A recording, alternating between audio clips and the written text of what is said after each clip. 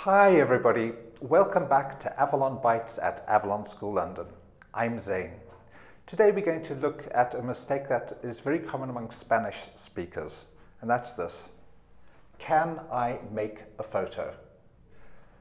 Now, that's wrong. We don't say make, we say take. Can I take a photo? Can I take a photo? Okay. And when we say it, it's can I, can I, can I take, can I take a, can I take a photo? Can I take a photo? Together. Can I take a photo?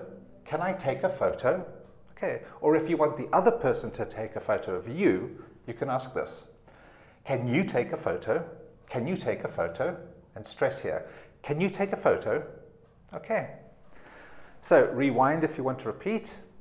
Questions and comments below. Click the subscribe button and see you next time.